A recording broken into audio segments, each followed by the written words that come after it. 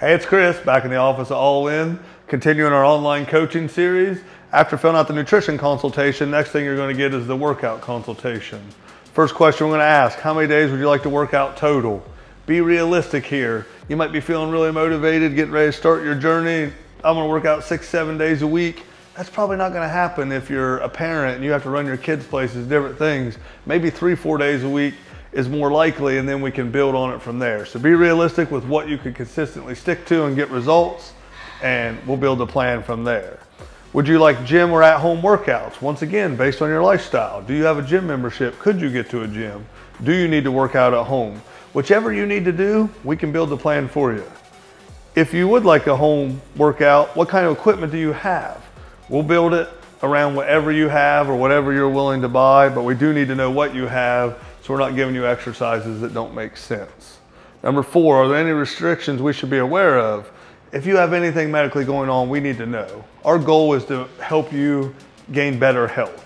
And if there's something wrong with you that's holding you back or we're giving you something that's making that worse, that's the opposite of our goal. So make sure you're transparent. Let us know everything, especially if it, you have any restrictions from a doctor. That's going to be very important. Number five, what is your main fitness goal? Are you trying to gain muscle? Are you just trying to lose weight and maintain the muscle you have? The way we set up your workout is going to match your goals, so that's important that you're detailed there. Number six, last thing on the workout consultation for cardio, would you like? And we give you some options like a 10 minute walk three times a day.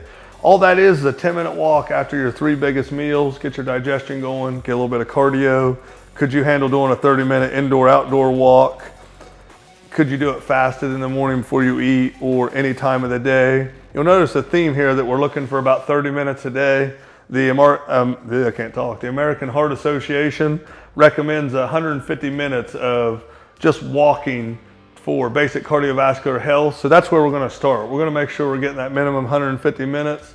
Then if we're using cardio to create a deficit for like weight loss, we'll extend that cardio but we at least want to do the basic to make sure we, we're taking care of cardiovascular health. It's a pretty simple form, but the more detailed you are, the better we can coach you. So give us good information and let us help you. As always, if you have any questions, hit us up on social media. If you're local, stop in and see us, and let's all get better together.